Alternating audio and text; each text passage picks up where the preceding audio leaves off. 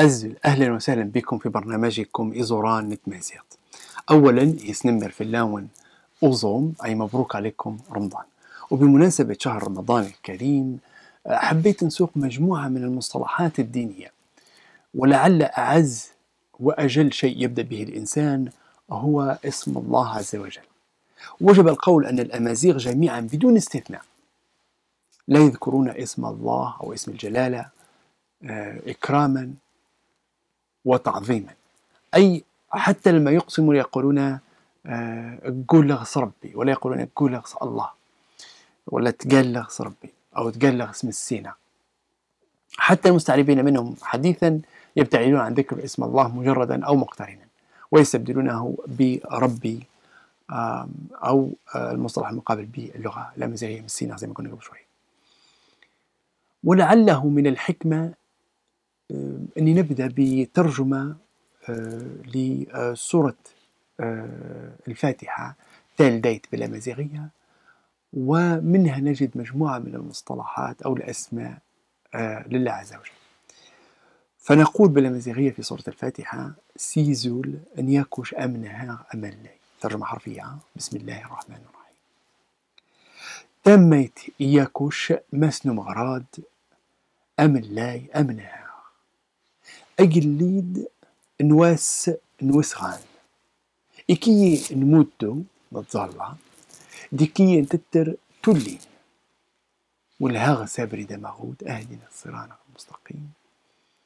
والهاغ أبري دماغود أبريد نويد أمي تسوقطب تينوفا. أردويد غفي تقومد أردي مناف. آمين. وجب القول أن هذه ترجمة حرفية وليست ترجمة معاني. علاش نقول هيك؟ لأن فيه تراجم كثيرة للقرآن الكريم لمعاني القرآن الكريم. وهذه التراجم إما أن تكون لها شو اسمه جهوية أو تكون باللغة الأمازيغية معيار تكون جزئية تكون كبيرة تكون قديمة تكون حديثة إلى آخره. ولكن الترجمة الحرفية هذه التي ذكرتها قبل قليل ترجمة كلمة بكلمة لسورة الفاتحة. طيب آه ذكرنا هذا كله باش نرجع للفظ أكوش. آه نبدأ زي العادة بجبل نفوسة. فنجد مقابل الله في الأمازيغية في جبل نفوسة هي أكوش. والكاف تصبح ياء عند وادي مزاب فتصبح أيوش ولا يوش. نجدها حاليا في كل من نفوسة وادي مزاب فقط ولا طبعا هذه منطقة رياضية ولكن هذا الاستعمال في الكتب القديمة والمخطوطات وفي كذلك كتب التاريخ العربية. لا داعي طبعا لسردها جميعا لكن نجدها عند البكري مثلا في معرض حديث عن برغواطة نجدها عند ابن خلدون. آه، لكن الإباضية يستعملونها كثيرا في كتبهم آه، في السير في آه، في الفقه في الفتاوي في آخره. وخارج هاتين المنطقتين نجد مثلا اليوم في سوس في المغرب الأقصى وقفت بنفسي على أشعار دينية ترددها العجائز. يبدو أنها قديمة تنقل بصورة شفهية. سجلتها مريم أولسون ال musicologue عالمة الموسيقى الأمريكية المعروفة آه، في نواحي منطقة تيزنيت وهذا أسمعني إياه الأستاذ في جامعة إبن زهر أحمد بومزجو في منزله في مدينة تيزنيت وهذا كان قبل سبعة أو ثمانية سنوات. أو ربما أطول من هذا. وحتى أن العجوز سألتها عن معنى هذا اللفظ العجوز لم تفهم اللفظ وقالت أن سمعناها هكذا وترددها. إذا حتى في هذه المناطق اللي نظن أن الكلمة بغير مستعمل فيها الآن مستعملة فيها ولكن في الزمن الغابة نجدها في الطوبونوميا نجدها في أشياء كثيرة أخرى. ونجدها كذلك آه، نبهني لهذا صديقي بدر كوكو أن في منطقة منطقة آه، فيجيج آه، في معجم بن عمارة اللي هو طبع في الإركام مؤخرا ذكر بريوش بمعنى باريوش بمعنى آبر اللي هو العظيم الله العظيم. يوش وحدها لا تستعمل ولكن تستعمل بالتضخيم. آبر بالأمازيغية الصفكس آبر يجعل من الأشياء عظيمة وضخمة وكبيرة وإلى آخره. ووجب القول كذلك هنا أن أكوش لفظة قائمة بذاتها. ليس لها أي ارتباط جذري بأي كلمة أخرى. توجد يا كياش وحدها ولكن ما علاقة بكل باللفظ هذا أو بالجذر هذا.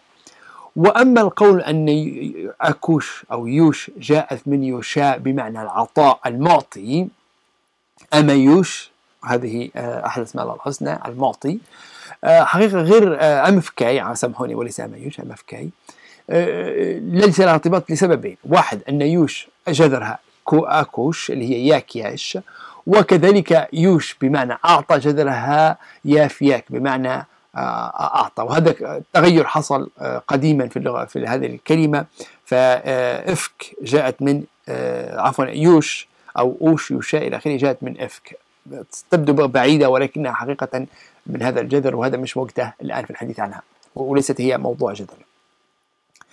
طيب فكلمة ياكياش ليس لها كما ذكرت أي تصريفات أو مقابلات أو اشتقاقات أو أي شيء بل هي كلمة مستفردة ومخصصة لله عز وجل.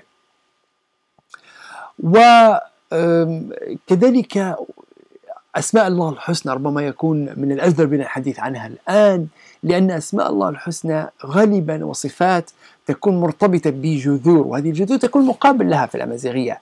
آه، فهذه المقابلات نجدها. يعني مثلا ذكرنا قبل شوية كلمة أجليد في جبل نفوسة نقول أو سنة 1892 آخر كتاب كتب في الجغرافيا في جبل نفوسة بالأمازيغية اللي هو إغاثة دي بريد دي درار النفوسن آه، يقول في المعرض حديثة عن تمسجيد مقر يقول آه، في فئة معين يقول شك دم دجل لي دم قران بمعنى أنت الملك العظيم.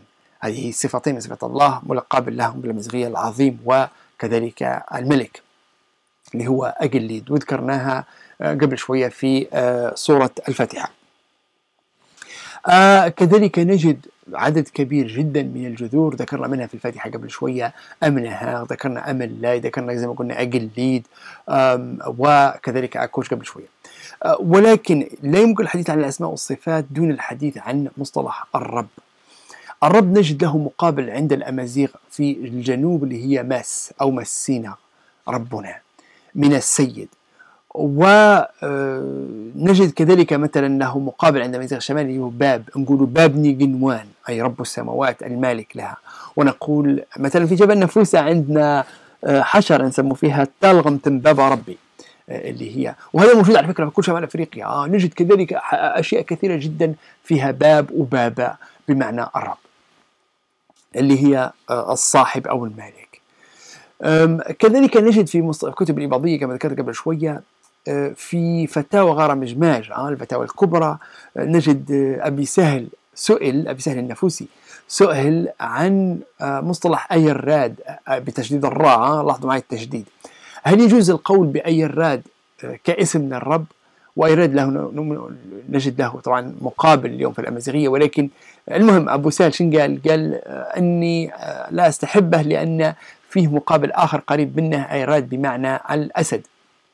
ولكن الأسد حقيقة غير مشددة أيراد والثاني أيراد ونجد آه، أيراد إلى الآن مستعمل في مجموعة من التنوعات الأمازيغية من الجذر جريد بمعنى ربى من التربية.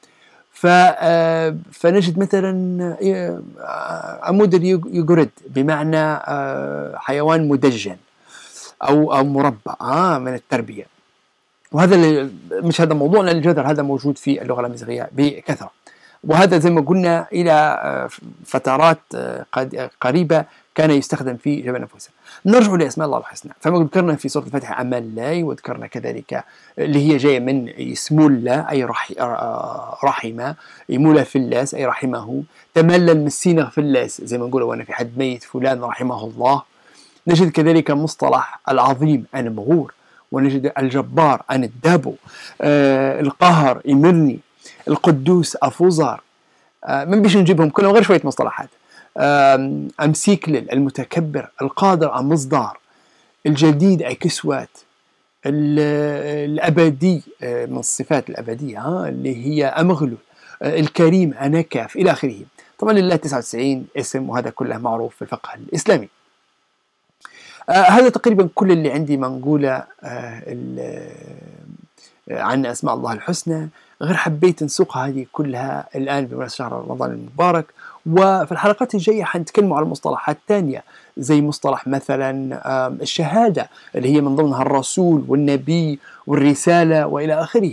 كذلك المصحف القرآن آه، كذلك اللوح كذلك الأركان الإسلام الخمسة الصلاة الصوم الحج إلى آخره في اللغة الأمازيغية. فهذه من خلال شهر رمضان حنذكر كل هذه المصطلحات الدينية وجذورها الأمازيغية وأصولها ومقابلها في اللغة الأمازيغية. تنمرت من إلى حلقة أخرى إن شاء الله. تنمرت.